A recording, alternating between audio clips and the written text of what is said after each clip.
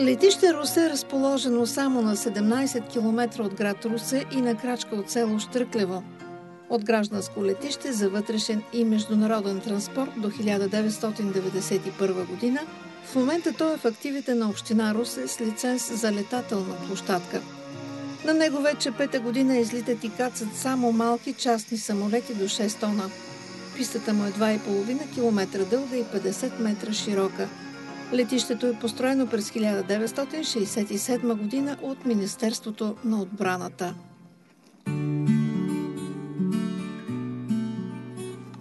...1956 година, един малко известен факт, започва идеята да се реализира тук. С заповед на министъра на транспорта, Министерството на отбраната започва изграждането тук като военно летище – като след това вече се прави този терминал около 300 декара, допълнително се изгражда, да се ползва като гражданско летище. Тук са летели изключително много самолети. Кацали се, това е най-големият самолет, който е кацал тук на това летище. Ил-76, огромен самолет. След построяването на пътническия терминал от летището са извършвани по три вътрешни граждански полета дневно от и до София. Русенци още помнят как сутрин са летели до столицата, за да свършат през деня работа в някоя институция и са се връщали с последния полет на време за вечеря у дома. Пътници си летяха и имаше постоянно запълнени курсове. Не само го помня, даже съм ползвал такива. И тогава с един самолет Ан-24 обслужваше а, трасето а е имало и полети, и международни полети е имало тук за Германия в един период от дейността на летището. Беше изключително удобно. Новата сграда на летище Русе е построена между 1972 и 1976 година. Нейн главен проектант е русенският архитект Йордан Боеджиев. Скулптурното пано на фасадата и ефирното месингово кълбо, висящо над салона, са дело на скулптора Галин Малакчиев. Според някои съвремени русенски архитекти, сградата на летище Русе е прекрасен образец на модернизма.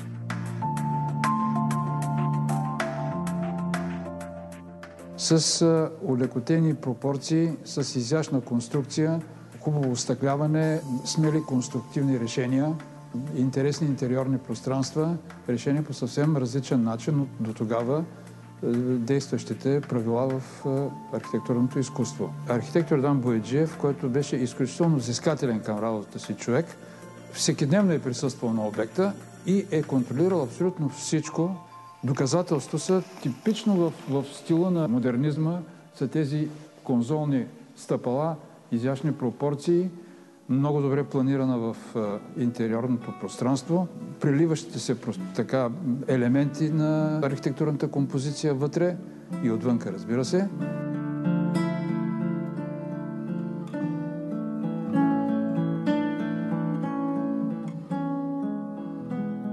Всичко тук е запазено каквото е било в деня на последния граждански полет. Ресторантът, кафенетата, пунктът за проверка – залата за изчакване преди полета.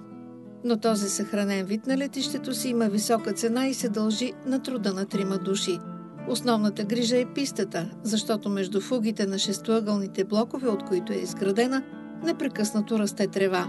Постоянно косят и третират с химически препарати –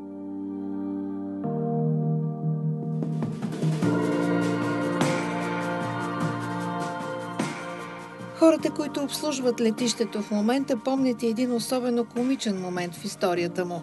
През есента на 1995 година тук над 3000 русенци и жители на околните села се събират за да чакат кацането на летящи чинии с извънземни същества. Бях тук по време на това събитие и още си го спомням с насмешка.